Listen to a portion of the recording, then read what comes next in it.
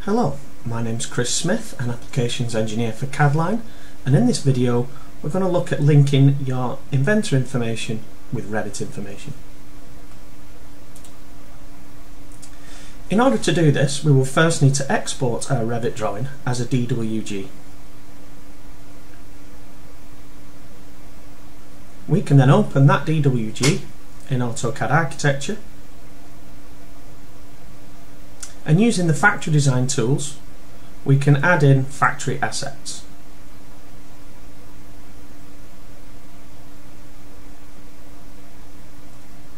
When we are happy with the assets that we need to place we will save the file.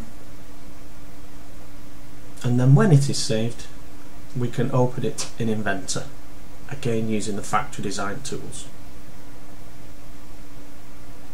This will create the solid model and from there we can export again as a DWG taking just the solids only and save it as a new file.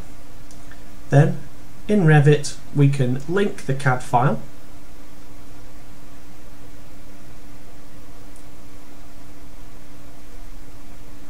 and just a quick tweak for its landing surface and there is our inventor model. If we want to move the model around we can go back into inventor make our change and resave the DWG file overwriting the original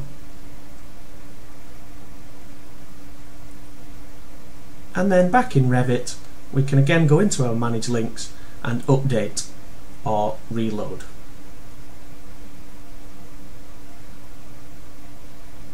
Once the DWG has reloaded, click OK and it will update. I've been Chris Smith for CADline and I'll see you in the next one.